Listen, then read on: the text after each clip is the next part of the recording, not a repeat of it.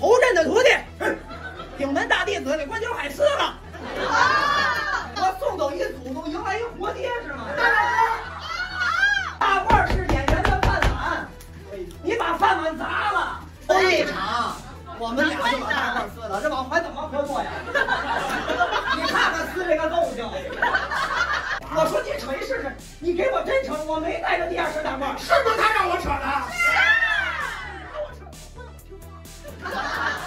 三月二十二日，关九海、庄子健迎来了搭档后的首次演出，第一次合作就手撕大褂，属实出乎了观众的预料。虽然是为了演出效果，但真的是给大家带来了许多的惊喜。看到这一幕，不少网友表示，关九海这是补完文化课，开始补体育了。也有不少网友表示，不愧是侯老师的大徒弟，气势上一点都不输师傅侯震。师傅敢在后台玩手机。徒弟在舞台上手撕搭档大褂。突然今儿录像的，你让头一天你打我，我打你！你自己怎么着？你打一哥们儿出去是吗？打你怎么着？哎，你甭来这，别打你，我干你脸！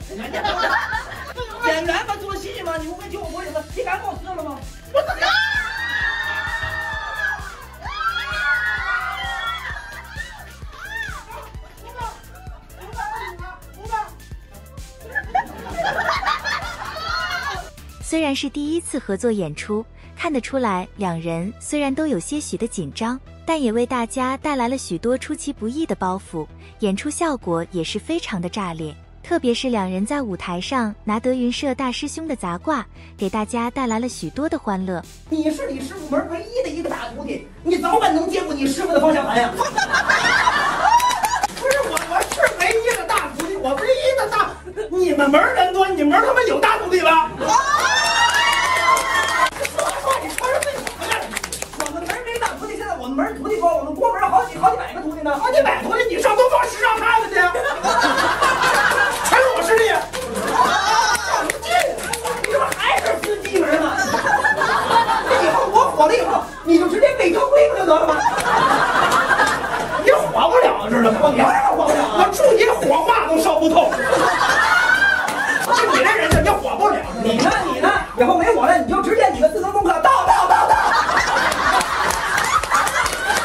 手撕大褂，出其不意的包袱，让大家在德云社体会到了快乐。关九海和庄子健也慢慢的找到了属于两人的演出方式，看得出来，两人都在努力的为大家带来快乐，也让粉丝们放心。分开了是为了更好的发展。看细节，看细节，豆腐，嗯，拍碎了，豆腐渣。豆奶。但是没有一个演员说豆奶的，豆腐，这视频传出去能看吗？还豆腐乳，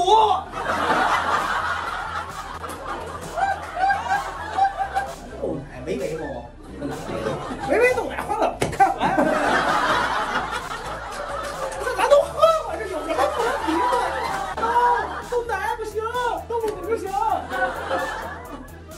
说奶豆腐都不理解，废话，这叫奶豆腐。就像张鹤伦在直播时说的那样，两个人在一起合作时间久了，就会出现创作瓶颈。如果不换搭档的话，两人一直这样下去，就会耽误两人的发展。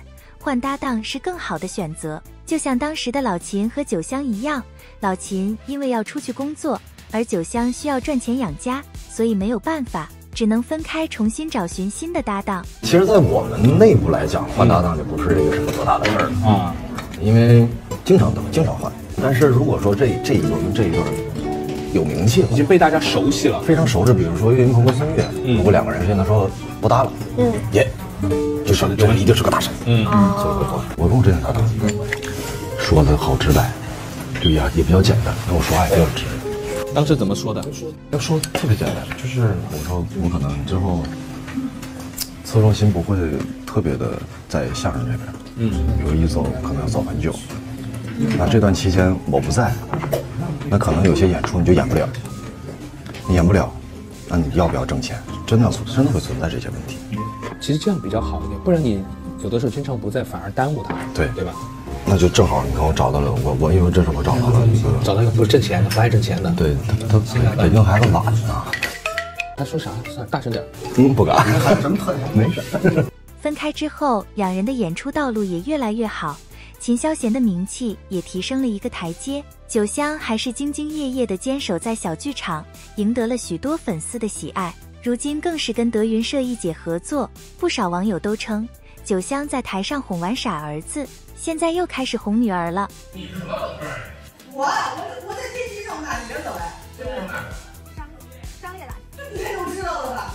天津商业大学那是一个非常好的。学校，与南开并列。好，南南开南开南开。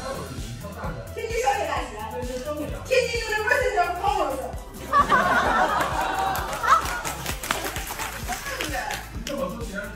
既没有开高职，而且又给去了南开大学。这是离婚音，London。哎呀，还是我问提问。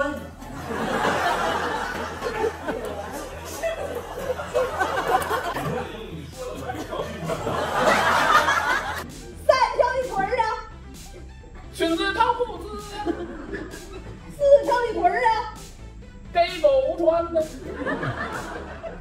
五条一腿儿啊，五条腿儿。那是手套啊！你不是手套呢？